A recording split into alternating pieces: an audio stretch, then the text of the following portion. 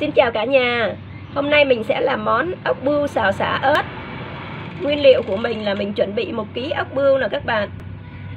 Ốc bươu này là còn sống. Các bạn nhìn thấy nó còn bò nè.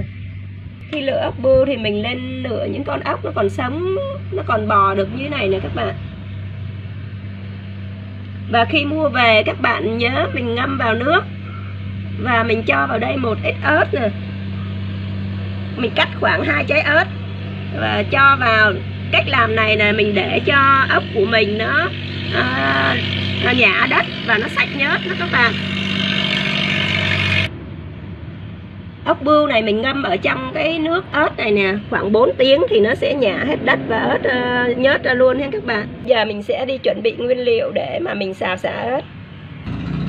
Tiếp theo đó là mình chuẩn bị xả các bạn à, xả này là mình đã cắt nhỏ nè.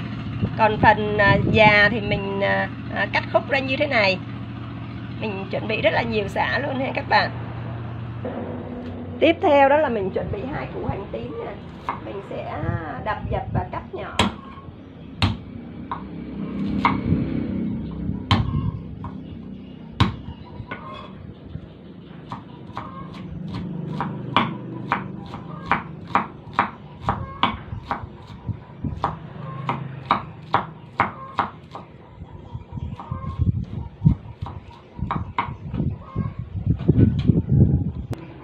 và mình chuẩn bị 3 tép tỏi này các bạn. Mình sẽ đập dập và băm nhỏ.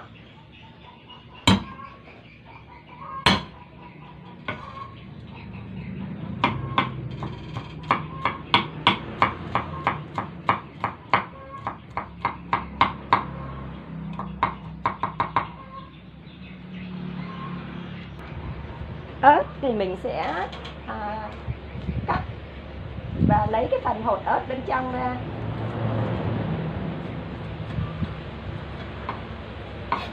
Tiếp theo đó là mình sẽ cắt nhỏ.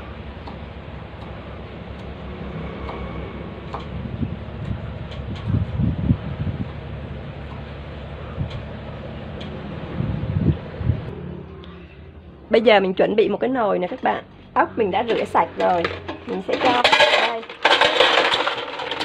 Cho hết ốc vào nồi để mình luộc. Tiếp theo mình cho vào đây một ít nước cho một ít thôi các bạn, chút xíu nữa, ốc nó cũng ra nước nữa. Và cái phần xả mình cắt khúc nữa các bạn. Mình cho vào đây một ít để mình luộc cho ốc của mình nó thơm.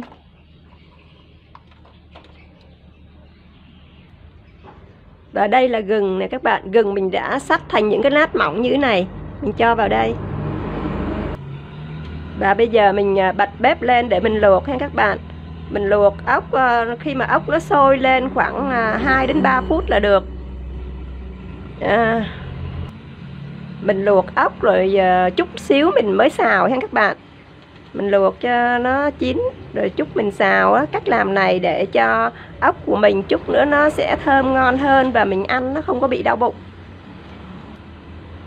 Một số bạn á à, các bạn để ốc như thế này các bạn xào luôn thì khi ăn nó cũng có thể là sẽ dễ dẫn đến là đau bụng đó ha các bạn. Nồi ốc của mình giờ là nó sôi lên rồi nè các bạn. Mình sẽ đảo lên. Đảo lên cho à, ốc ở bên trên đó, nó, nó chín đều luôn.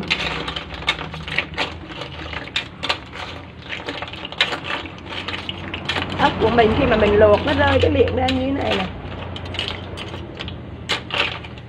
Là được rồi ha các bạn mình ốc khi mà mình luộc có mình đừng có luộc kỹ quá. Chút nữa ăn nó sẽ dai. Mình luộc nó vừa chín tới thì chút mình ăn con ốc nó sẽ còn giòn ngon. Ốc của mình luộc uh, xả này gừng nè thơm nè các bạn.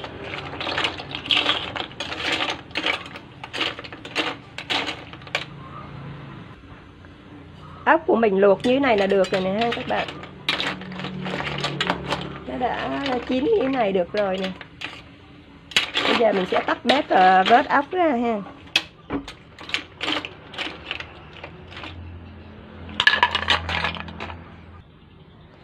Và bây giờ mình chuẩn bị một cái chảo này các bạn.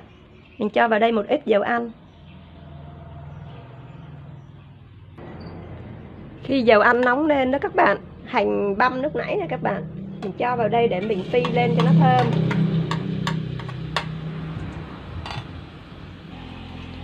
Mình phi hành ở nửa nhỏ nha các bạn.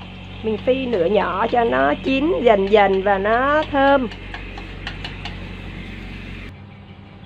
Khi hành của mình phi nó vàng lên như thế này đó các bạn, thì cái ốc nè, ốc lúc nãy mình đã rửa sạch rồi đó. Và mình luộc chín rồi nè. Cho vào đây để mình xào.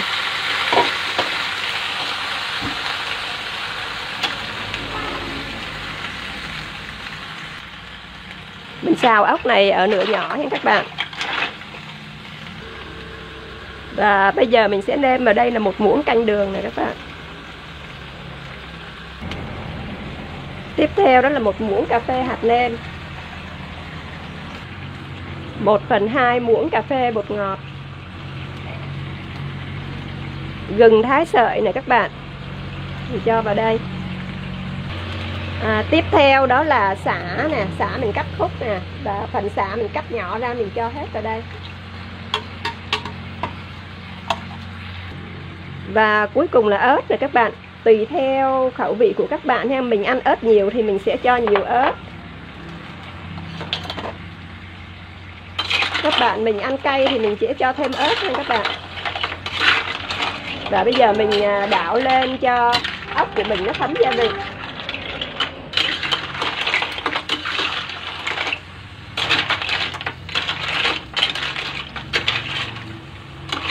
Mình đảo đều lên nha mình chịu khó mình đảo thì ốc của mình nó sẽ thấm và nó sẽ ngon.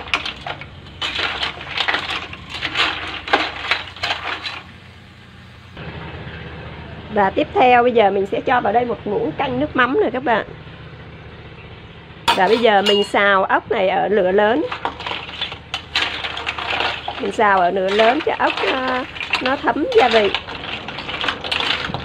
Và nó ngon nó thơm luôn nha các bạn. Nhìn rất là hấp dẫn luôn.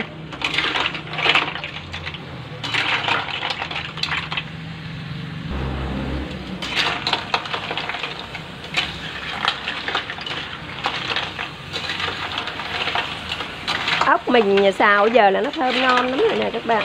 Rất là thơm luôn. Và thơm quá. Thơm lắm luôn các bạn ơi. Mình xào cho nước ở dưới này nó cạn lại một chút xíu nữa nha các bạn. Ốc thì mình giờ là nó, nó thơm rồi nè. Mình xào chút xíu nữa là được rồi. Lúc nãy mình luộc mà ốc nó cũng đã chín rồi. Mình chỉ xào bây giờ cho ốc nó thấm gia vị thôi là được. Ốc của mình xào như thế này là được rồi ha các bạn. Bây giờ mình sẽ tắt bếp và bày ra đĩa và bây giờ mình sẽ làm phần à, nước chấm ốc ha các bạn. Mình chuẩn bị là tỏi băm rồi nè các bạn. Và mình cho vào đây một ít ớt. Ớt mình băm nhỏ ra hoặc mình cắt nhỏ ra cũng được. Tiếp theo đó là mình cho vào đây à, một muỗng canh đường. Một chút xíu bột ngọt. Một muỗng canh nước cốt chanh nè các bạn tiếp theo đó là một muỗng canh nước mắm. Bây giờ mình sẽ khuấy lên cho hỗn hợp nó tan ra. Các bạn mà chuẩn bị à, muối tiêu chanh, mình chấm ốc cũng ngon, rất là ngon. Hoặc là mình chuẩn bị à, nước mắm chanh như thế này nè, nước chấm như thế này mình thích chấm như thế này nó rất là ngon.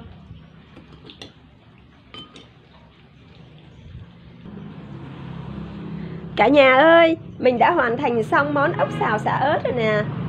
Nhìn rất là ngon. Thơm dữ lắm các bạn. Bây giờ mình sẽ ăn thử ốc nha các bạn. Con ốc nhìn rất là ngon và hấp dẫn mình sử dụng cây tăm nha các bạn. Mình đâm vào cái phần thịt ốc. Mình kéo ra nha các bạn. Và mình à, à bỏ chừa lại cái phần đuôi của con ốc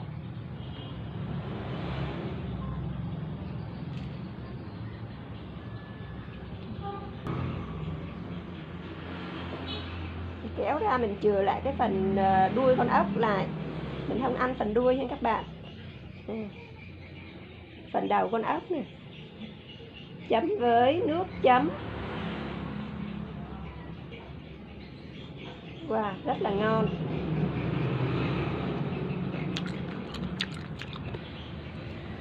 Ốc giòn ngọt, không có dai hết các bạn và cái phần nước à, của bên trong con ốc cũng rất là ngọt. Mình à, à ăn uống húp luôn cái phần nước ốc.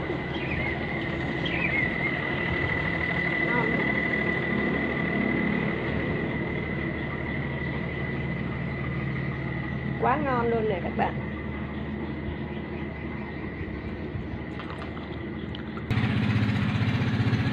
Chúc các bạn luôn thành công trong cuộc sống các bạn nhấn đăng ký và chia sẻ video của mình nhé. Cảm ơn các bạn đã theo dõi. Hẹn gặp lại các bạn ở video tiếp theo.